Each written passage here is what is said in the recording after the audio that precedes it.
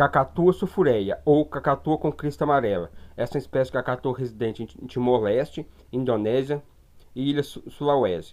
Possui em torno de 34 centímetros de comprimento. Sua alimentação consiste à base de frutas e sementes. A cacatua com crista amarela é uma espécie que se encontra em perigo crítico de extinção, contendo poucos indivíduos na natureza. Até a próxima. Tchau, tchau.